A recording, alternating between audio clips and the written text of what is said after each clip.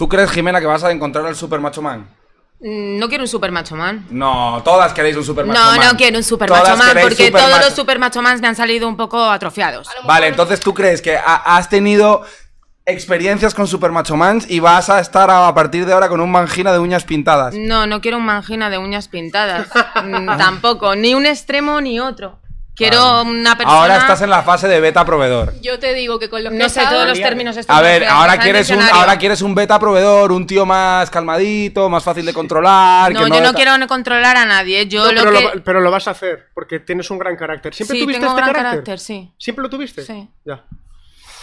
Pero la relación la dejé yo. O sea, tú eres Ya, la que diriges la relación. No. No me extraña, no me extraña. No, por- no me han salido bien por eso. Pero porque- tú las dejaste todas, ¿verdad? Parece que tengo gran carácter, a lo mejor es una coraza y lo, es lo que ves ahora y luego en una relación soy totalmente diferente. No, no. Sí, sí, no, sí. no, no. Sí. No, ver, eres ver, guerrera, ver. eres guerrera dentro y fuera. No. Sí, Pero sí. vamos a A contestar ver, a ella a ver, Emi, bueno, eh, para empezar, siento el caso tuyo personal, me parece que no es digno de un hombre a hacer lo que te han hecho a ti.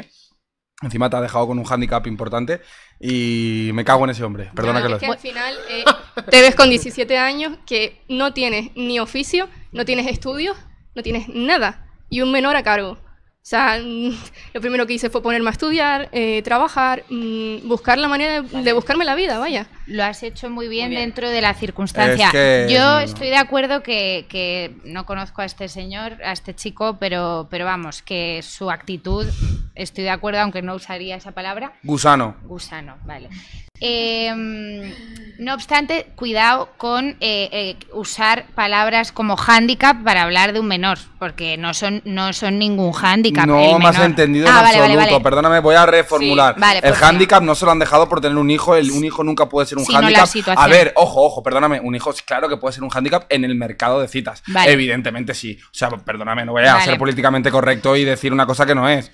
Eh, claro que lo es. Un hombre que tiene muchísimas opciones, que tiene dinero, que tiene estatus, que tiene labia, que tiene físico, que tiene todo el tridente de lo que un hombre muy cotizado en el mercado de citas tiene, evidentemente si se puede evitar a una madre soltera lo hace. Sí. Es la realidad, a no ser de que sea un hombre que haya tenido otra pareja y se Y rejunten junten. familias, eh, otro padre soltero o un hombre ya más mayor, que Sí. tenga mucho estatus y demás, pero que no esté en su prime ni en su peak bajo ningún concepto. También eh, te digo, o sea, es curioso porque es verdad lo que yo dije de que me reduce el mercado, por así decirlo, eh, pero a su vez, mm, tal y como yo soy y las cosas que he hecho y las que he logrado, es lo que le, le atrae o le gusta al sexo opuesto. O sea, no tiene mucho sentido, pero me ha pasado también que muchas veces ni siquiera, bueno, no, pienso yo que no sea solo por el físico, sino que a la, a la hora de hablar conmigo y ver cómo me he buscado la vida, digamos que es un plus.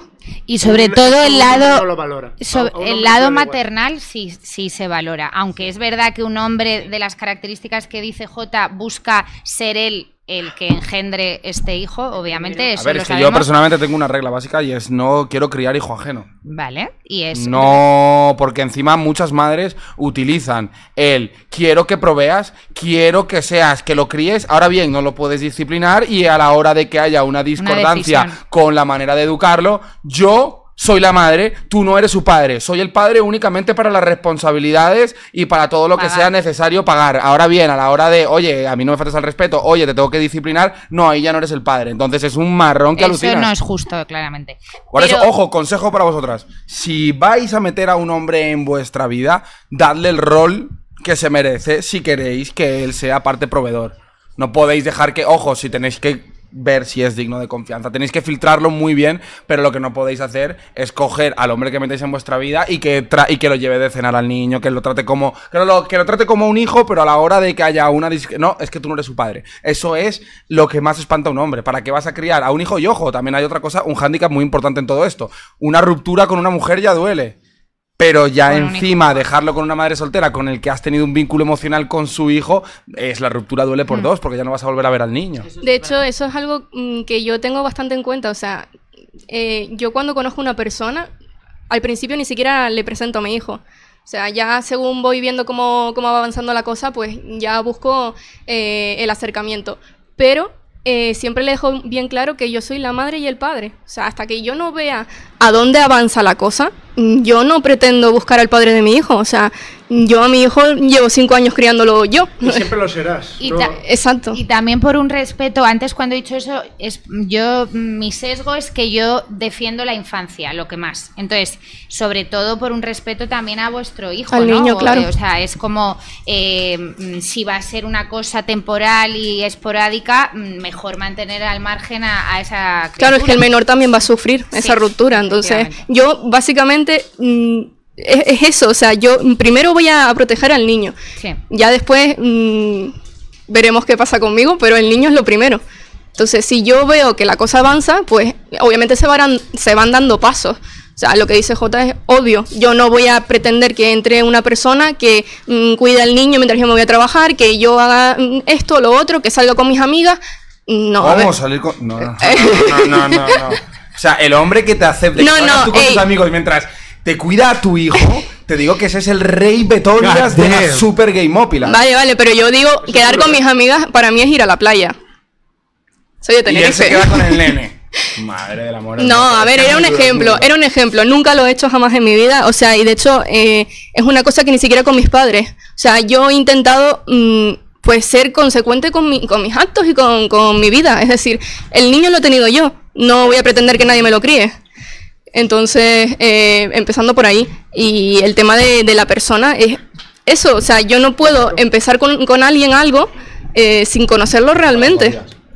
Sigue, sigue hablando de mí. Nada, eso. eh, Oye, y Yo solo estaba- también esto, ¿eh? porque no es un. i- De verdad que no pretendo machacaros ni nada. No, no, es que yo no. yo solo quiero soltar un facto. que yo no voy a hablar del tema. ¿Por qué? Otra más, bro. ¿Eh? ¿Por qué? ¿Por qué?